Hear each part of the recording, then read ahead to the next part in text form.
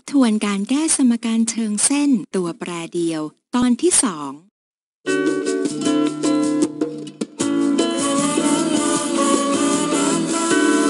สวัสดีครับน้องๆ พบกันในคาบวิชาคณิตศาสตร์อีกเช่นเคยนะครับ วันนี้เราจะมาเรียนรู้ในเรื่องของทบทวนการแก้สมการเชิงเส้นตัวแปรเดียวตอนที่สองครับ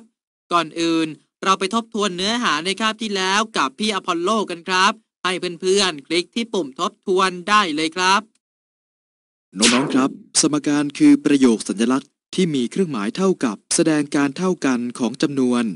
สมการเชิงเส้นตัวแปรเดียว คือประโยคสัญลักษณ์ที่ประกอบด้วยตัวแปรหนึ่งตัว และเครื่องหมายเท่ากับ เขียนในรูปทั่วไปเป็น ax บวก b เท่ากับ 0 เมื่อ a b เป็นค่าคงตัว และ a ไม่เท่ากับ 0 ซึ่งคำตอบของสมการเชิงเส้นตัวแปรเดียว คือจำนวนที่แทนตัวแปรในสมการ แล้วทำให้สมการเป็นจริง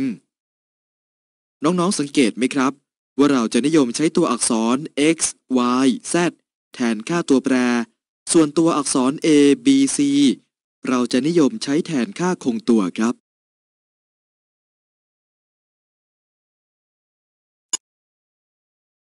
ในการหาคำตอบของสมการ นอกจากจะใช้วิธีลองให้จำนวนมาแทนค่าของตัวแปรแล้ว เราจะใช้สมบัติการเท่ากัน เพื่อช่วยในการหาคำตอบของสมการอีกวิธีหนึ่ง เรามาทำความรู้จักกับสมบัติของการเท่ากันก่อนนะครับ สมบัติการเท่ากันมี 4 ข้อ ซึ่งได้แก่สมบัติสมมาตร สมบัติถ่ายทอด สมบัติการบวก และสมบัติการคูณ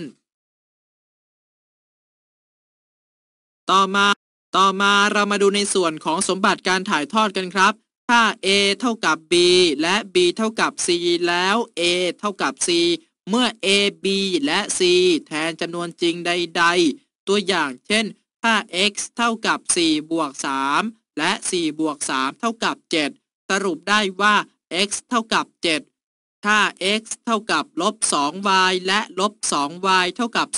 0.2 สรุปได้ว่า x เท่ากับ 0.2 x เท่ากับ 5 ลบด้วย 2 และ 5 ลบด้วย 2 เท่ากับ 3 สรุปได้ว่า x เท่ากับ 3 y เท่ากับลบ 4a และลบ 4a เท่ากับ 2 สรุปได้ว่า y เท่ากับ 2 x เท่ากับ y บวก 3 และ y บวก 3 เท่ากับ 9 สรุปได้ว่า x เท่ากับ 9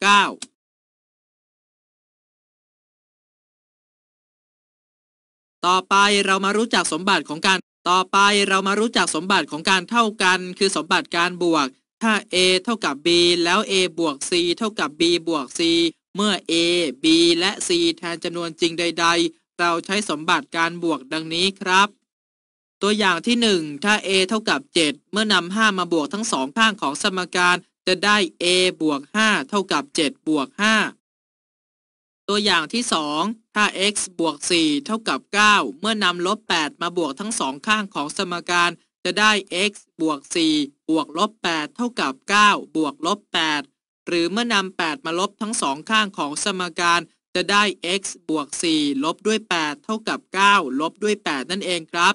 ซึ่งการนำลบ 8 บวกทั้งสองข้างของสมการ หรือนำ 8 มาลบทั้งสองข้างของสมการ ผลลัพธ์ที่ได้จะออกมาเท่ากันเสมอครับ ตัวอย่างที่ 3 ถ้า x เท่ากับลบ 2 เมื่อนำ3มาบวกทั้งสองข้างของสมการจะได้ x บวก 3 เท่ากับลบ 2 บวก 3 ตัวอย่างที่ 4 ถ้า b ลบด้วย 1 เท่ากับ 2 เมื่อนำ2มาบวกทั้งสองข้างของสมการจะได้ b ลบด้วย 1 บวก 2 เท่ากับ 2 บวก 2 ตัวอย่างที่ 5 ถ้า y บวก 2 เท่ากับ 2y เมื่อนำ2 ลบออกทั้งสองข้างของสมการ จะได้ y บวก 2 ลบด้วย 2 เท่ากับ 2y ลบด้วย 2 หรือเมื่อนำลบ 2 บวกทั้งสองข้างของสมการ จะได้ y บวก 2 บวกลบ 2 เท่ากับ 2y บวกลบ 2 ซึ่งการนำ 2 มาลบทั้งสองข้างของสมการ หรือนำลบ 2 บวกทั้งสองข้างของสมการ ผลลัพธ์ที่ได้จะออกมาเท่ากันเสมอครับ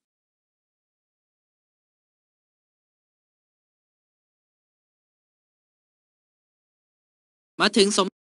มาถึงสมบัติการเท่ากันข้อสุดท้ายแล้วครับ นั่นคือสมบัติการคูณ ถ้า a เท่ากับ b แล้ว c คูณ a เท่ากับ c คูณ b เมื่อ a b และ c แทนจำนวนจริงใด ๆ เราใช้สมบัติการคูณดังตัวอย่างต่อไปนี้ครับ ตัวอย่างที่ 1 ถ้า m บวก 3 เท่ากับ 6n เมื่อนำ2 มาคูณทั้งสองข้างของสมการ จะได้ 2 คูณวงเล็บเปิด m บวก 3 วงเล็บปิด เท่ากับ 2 คูณ 6n ตัวอย่างที่ 2 ถ้าลบ 2x เท่ากับ 8 เมื่อนำลบเศษ1ส่วน2มาคูณทั้งสองข้าง จะได้ลบเศษ1ส่วน2คูณลบ 2x เท่ากับลบเศษ1ส่วน2คูณ 8 หรือนำลบ 2 มาหารทั้งสองข้าง แล้วลบ 2x หารด้วยลบ 2 เท่ากับ 8 หารด้วยลบ 2 ซึ่งการนำลบเศษ1ส่วน2มาคูณทั้งสองข้างของสมการ หรือนำลบ 2 มาหารทั้งสองข้างของสมการ ผลลัพธ์ที่ได้จะออกมาเท่ากันเสมอครับ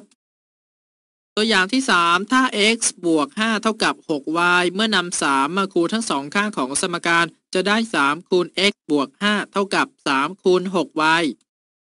ตัวอย่างที่ 4 ถ้า 4x ลบ 7 เท่ากับ 9 เมื่อนำ 2 คูณทั้งสองข้างของสมการจะได้ 2 คูณ 4x ลบด้วย 7 เท่ากับ 2 คูณ 9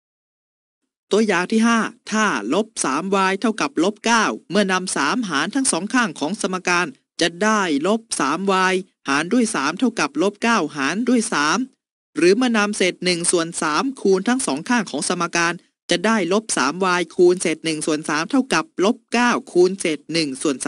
3ซึ่งการนำ3หารทั้งสองข้างของสมการ หรือนำเศษ1ส่วน3คูณทั้งสองข้างของสมการ ผลลัพธ์เท่ากันเสมอครับ